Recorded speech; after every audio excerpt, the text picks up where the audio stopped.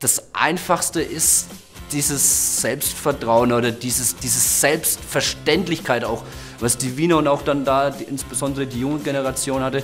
Sie sind halt aufgewachsen, Wien ist die Nummer eins. Nicht nur in Wien, nicht nur in Österreich, in Europa, auf der ganzen Welt. Ob das jetzt stimmt, scheißegal. Sie sind die Nummer eins. Und das haben sie den Leuten immer wieder eingetrichtert. Ja, und so sind die auch frühest aufgestanden. Hier halt mit der Brust und nicht so, sondern die sind halt so gelaufen.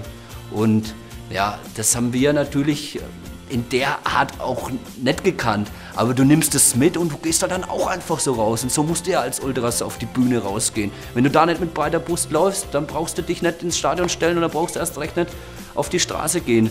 Und ich glaube, das hat uns echt enorm geprägt und das ist so das Wichtigste, was wir aus Wien mitgenommen haben.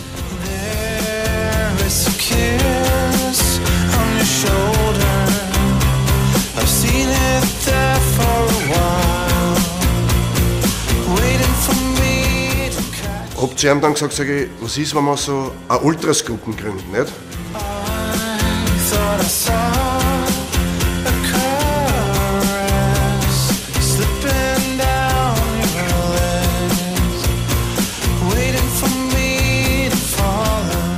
Äh, die Rapid-Fans gehören halt quasi in die Rapid-Familie. Das ist jetzt Mannschaft, das ist Rapid-Fans und die machen eigentlich dann einfach den, den Mythos Rapid aus.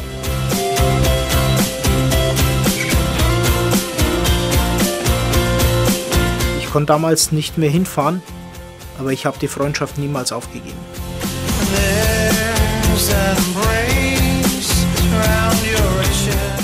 Da haben wir gedacht, okay, jetzt geht das Ganze wieder von vorn los. Der nächste Nürnberger ist da und will irgendwie da so eine Freundschaft.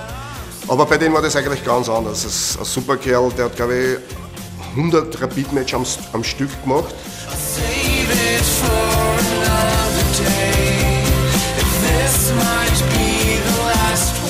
Deutschland-Ultras halt, ja. Mit dem Bauchtaschel, mit einem Umbro-Pulli, mit einer weißen Rauchsäulen oder auch schwarze, wenn ihr einen guten Tag gehabt habt.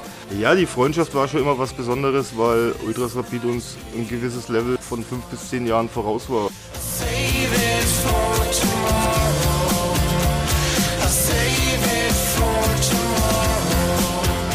Und dann habe ich gesagt, es gibt jetzt zwei Möglichkeiten. Die eine ist, wir machen das einfach. Und das zweite ist, ich, ich, ich falle jetzt auf die Knie vor Scham und gehe zum Tommaso, dass wir nicht in der Lage sind, auf diesen Zaun zu klettern und diese Spruchbahn hochzuhalten. Und bitte erspart mir diese, diese Schmach.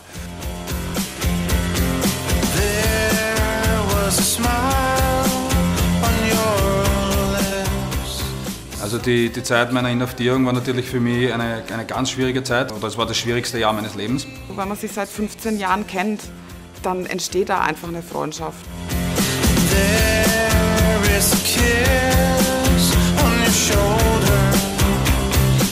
Jeder Mann verdeutlicht, was Ultras ist. Dass Ultras viel mehr ist als ein Choreo, als äh, eine Fackel. Diese Solidarität für das Leben und dieses Gemeinsame und das ist Rapid Wien und F10 und das ist Ultras.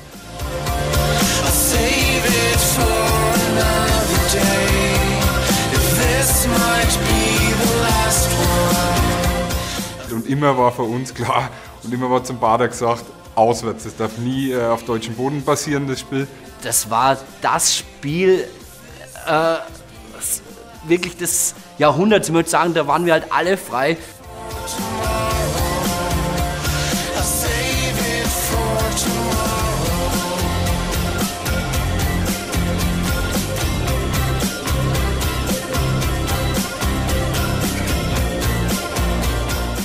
Ich selber für meine Person, das habe ich glaube ich immer wieder erwähnt und das, das gebe ich auch immer ehrlich zu. Äh, ich sage jetzt mal in der Anfangszeit äh, bei Ultrasapid, also meiner Anfangszeit bei Ultrasapid, vorerst mal nicht so viel anfangen konnte mit der Freundschaft zu Nürnberg.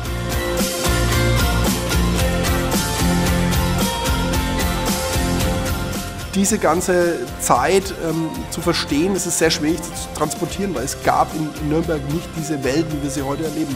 Die Wiener haben die Ultraskultur auf jeden Fall tiefer verwurzelt in ihrer Kurve. Gerade wenn man runterfährt und sieht, viele Leute in der Kurve einfach mit Ultras-T-Shirts sich damit identifizieren, ist das auf jeden Fall schon sehr, sehr viel mehr noch verankert, als das Ganze bei uns ist. Also ich finde es auch Wahnsinn, wie, wie die beiden Gruppen diese Freundschaft wirklich auch über Jahre hin auch sich zelebrieren teilweise. Das gehört aber dazu, das ist einfach Fußballgeschichte, da gehört einfach ein wenig Selbstdarstellung dazu.